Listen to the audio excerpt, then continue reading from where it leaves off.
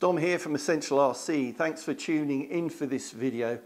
This is the new Atom RC Beluga, an RC aeroplane designed specifically for FPV flying. What do I mean by FPV? First person view. So as the pilot on the ground flying this RC airplane, I'll be wearing these FPV goggles and it will give me the view from the FPV camera that's in the cockpit.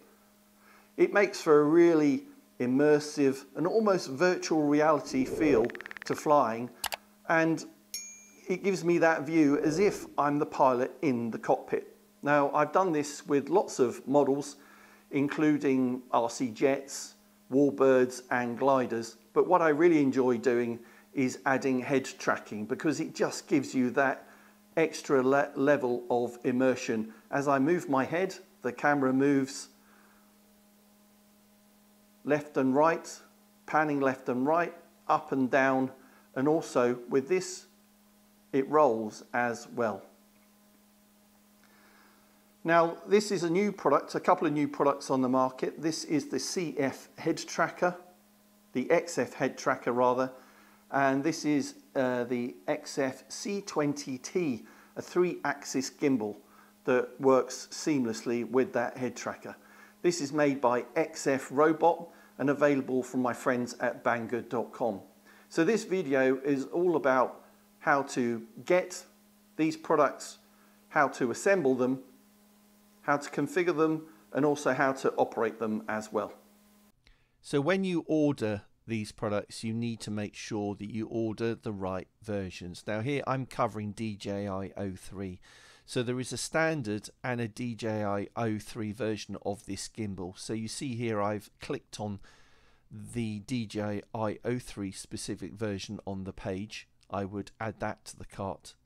And then I would move to the accessory pack, which covers both versions of the gimbal, but is necessary because it contains the head tracker, the mount plate kit and the fan and all of the wires that you need to put this together. So order both at the same time. So here's the gimbal out of the box with the backing plate from the accessories pack and what we're going to do first is just bolt the gimbal onto that mounting plate. Next take your DJI O3 FPV camera and VTX and remove the two screws on either side of the back of the O3 camera. With the back of the camera removed, we can then use the installation tool to gently lever off the plug for the wire to the VTX from the back of the camera. Next step is to undo four screws so the camera itself can be pulled out of the front part of the case. Push this plug from the gimbal onto the back of the connector of the FPV camera. Click the lens protection ring onto the lens mount from the gimbal kit. Drop the FPV camera into it and secure that in place with the four screws that you took and undid from the DJI camera case. Now attach that assembly into the gimbal using four new screws from the gimbal kit. Now moving to the DJI O3 VTX, undo two screws so the cover can be removed and using the provided blue installation tool you can carefully lever the cable off the VTX. Plug the gimbal cable into the VTX and reattach the cover with the two screws. Find this cable in the accessories pack and plug it into the gimbal and the mounting plate. Take the O3 air unit mount and the fan and put those together using the provided long screws. Then click the VTX or air unit as they call it into the air unit mount like this. Now you can bolt that air unit assembly with the fan onto the mounting plate with the provided bolts. Use the provided cable to connect the receiver part of the head tracker data link into the mounting plate. So that's the gimbal more or less complete with the exception of some cabling which I'll cover at the end. But now we can focus on the head tracker that will attach to your FPV goggles.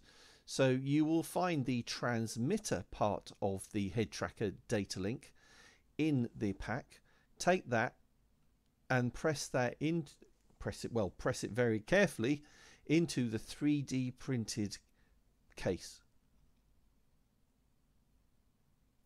The data link transmitter connects into the head tracker using four pins. Carefully align those pins, but before you press it into place, peel off the backing paper from the double-sided tape and then press into place on the head tracker.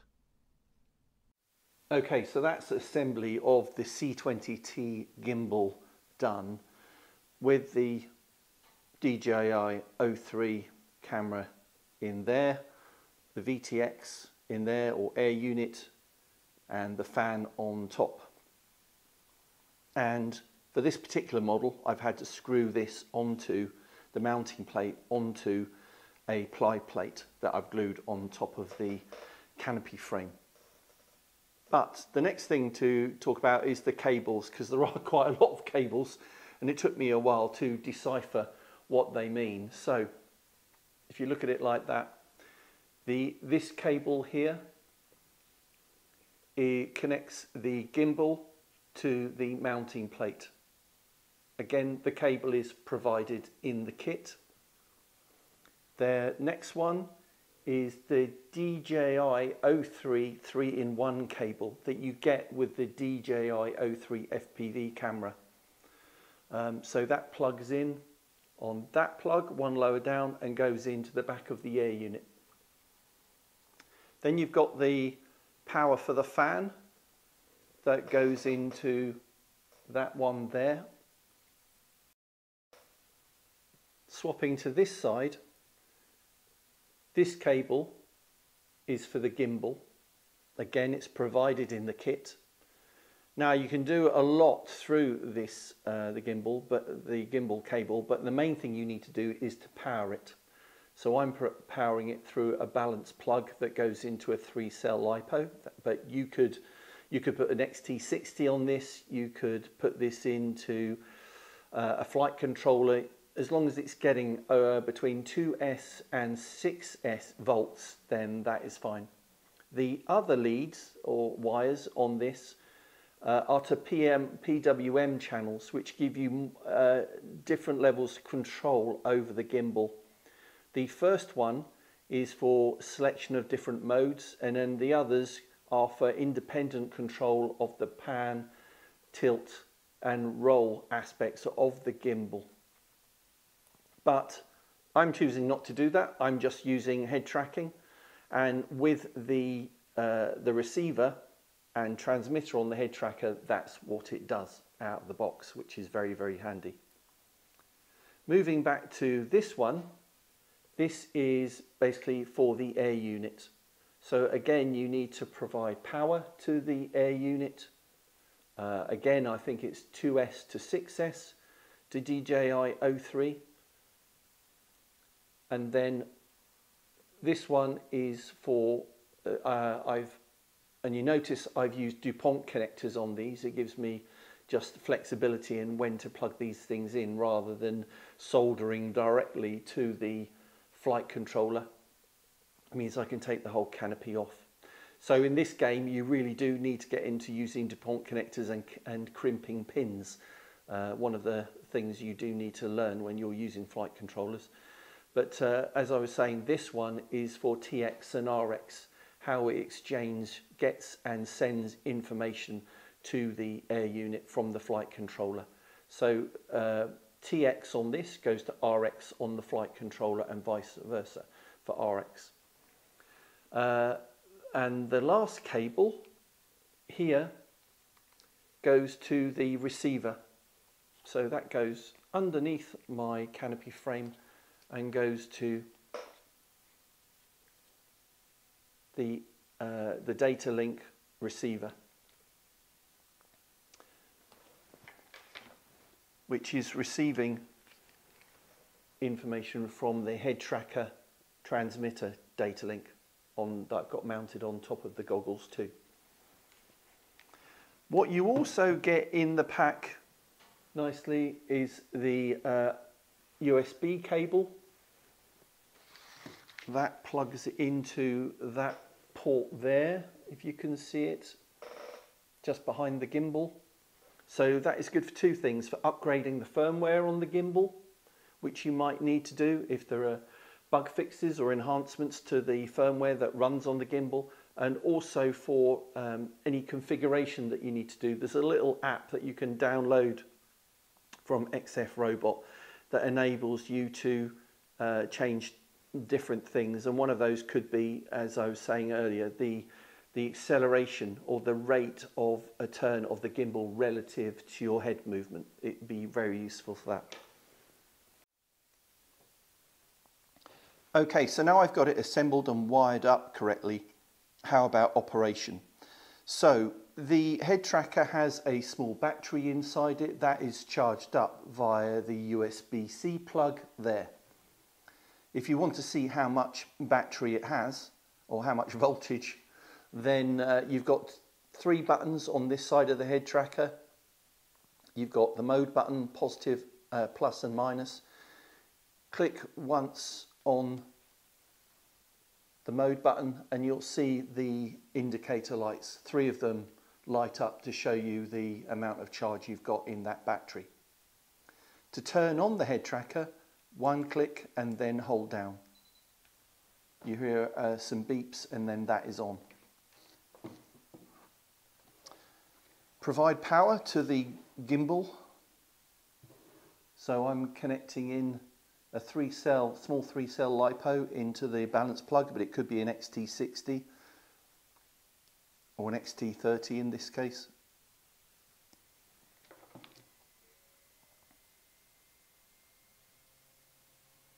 So that's powered up. Now when you do this for the first time, you need to connect the receiver and transmitter. So hold down the button on the transmitter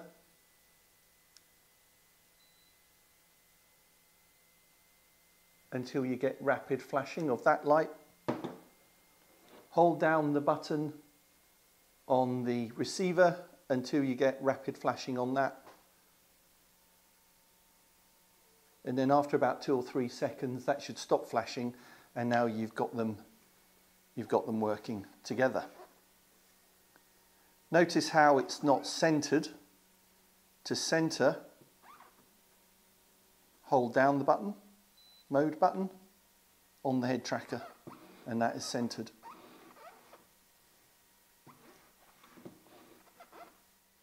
The mode button lets you go between three different modes. I'm mo most interested in the FPV mode rather than the other two modes which lock um, the different axes on the, on the gimbal. But you just use one click to go through those. I'm currently, you can see that I'm currently in one of those lock modes. So it is locked to, I think, I think it's mostly locked to roll. But if I click once again, yeah, so that's locked on roll. That is now not locked on roll. That's FPV mode.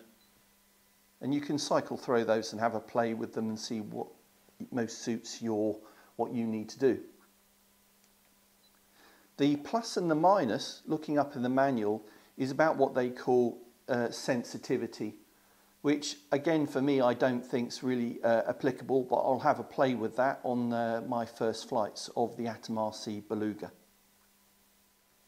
So here I'm showing the gimbal config application on my laptop that you can download from XF Robot I've connected my laptop via USB to the gimbal using the USB cable that they provide and the US, my USB-C cable. You'll want to use this if you want to see what's happening to the gimbal in real time. You might be controlling it via the head tracker or PWM channels. That's up to you, but a useful tool for that. It's also useful for calibration should you need to do that. You won't need to out of the box, it, it it's already uh, been calibrated. But if you do need to upgrade the firmware, this is on, this out of the box came with 3.5.